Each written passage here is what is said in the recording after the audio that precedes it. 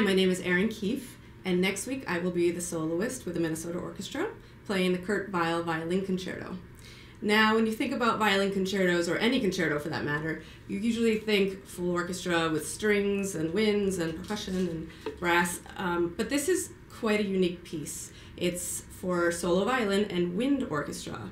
Um, so aside from the wind players, there's percussion and timpani and four bass players. Kurt Weill was born in Germany, but he spent the second half of his life in the States writing Broadway music. Um, so you can see hints of that throughout the work.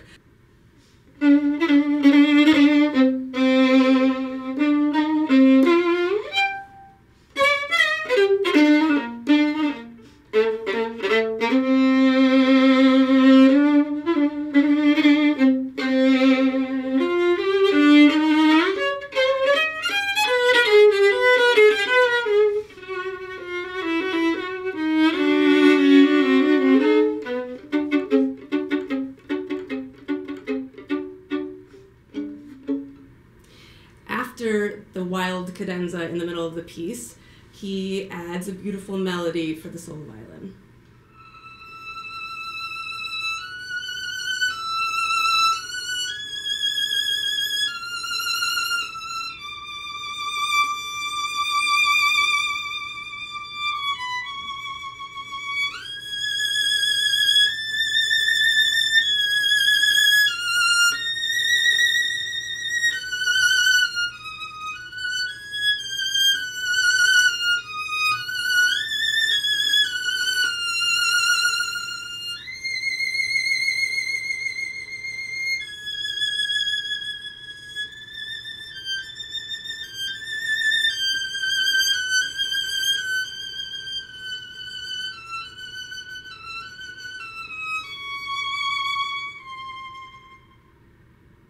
So at the end of this 33 minute concerto, there's a coda section, and it reminds me a lot of Stravinsky. And it has that sort of rhythmic, spiky vitality to it. And the piece ends with a lot of noise. Everyone is playing at the same time, and it's wild uh, and loud and crazy.